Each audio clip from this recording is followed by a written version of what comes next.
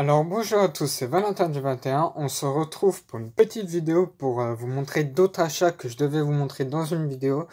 Euh, d'autres achats de soldes, mais ça fait longtemps que je les ai, du coup je vais vous montrer ça.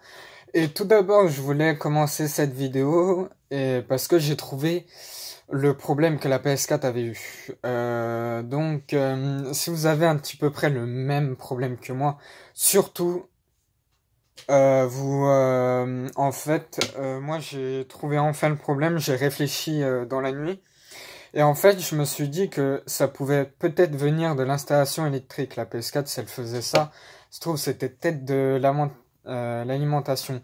Du coup, j'ai réfléchi. Quand j'ai déménagé trois fois, la première fois ça avait fait avec ma PS4. Après, ça avait fait encore une fois et encore une fois. Jusqu'à là, dans mon appart, ça a encore fait encore une fois. Du coup, hier, j'ai pensé que ça, là, ça, ça pouvait être la cause du problème. Et en fait, j'ai mis la PS4 sur une prise secteur.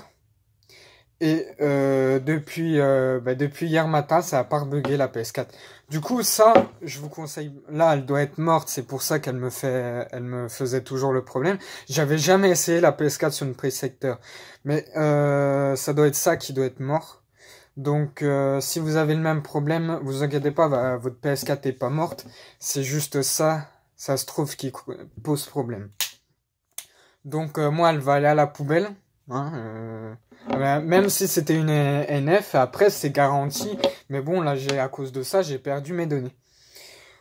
Donc euh, voilà, donc il n'y a rien qui est mort dans ma PS4. Même le disque dur, en fait, il a été corrompu, mais bon, je l'ai... Euh, comment on va dire? Je l'ai formaté et il remarche parfaitement. Du coup, j'ai acheté un disque dur pour rien et euh, je vais le revendre du coup parce que ça va me servir à rien. Donc je vais le revendre. Donc voilà, je vous faisais une petite vidéo pour ça. Donc j'ai fait quelques achats. Alors ça, c'était euh, c'était chez un ami. Vu que je vais avoir euh, je vais avoir euh, le PlayStation VR, donc il m'a il m'a vendu celui-là pour 5 euros. C'est pas cher pour un bon jeu d'horreur, je pense. Et ça, c'était à la Fnac. Euh, je voulais m'acheter entre. Il y en avait deux. Il y avait F1, euh, F1 2018.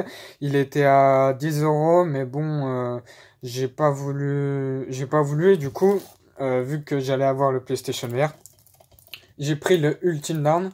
À moins de 10 euros, il était à 19,99. Moins de 10 euros, ça le fait à 9,99. Du coup, 10 euros le jeu. Du coup, ça fait plaisir. Du coup, le disque dur à 89,90€. Euh, ben, vu qu'il est neuf, euh, je vais le revendre euh, le même prix, je pense que je l'ai acheté. Parce que voilà, j'étais un petit peu dans la merde à cause de ça, mais bon, je vais le revendre. Si vous êtes intéressé, ben, dites-le moi, mais si vous habitez sur Dijon.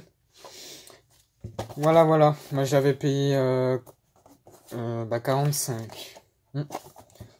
Du coup, je vais la revendre vu que maintenant, ben, euh, j'ai réglé, euh, j'ai réglé la PS4. Donc euh, voilà, c'est réglé. C'est à cause de ça là, ça là, bordel de merde.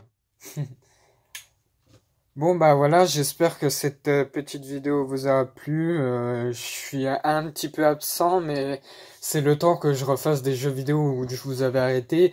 Il je vais vous faire. Je vais vous faire des épisodes de Resident Evil 7 euh, je voulais le, vous le faire depuis longtemps, mais là, comme j'ai perdu mes données, du coup, il faut que je le refasse.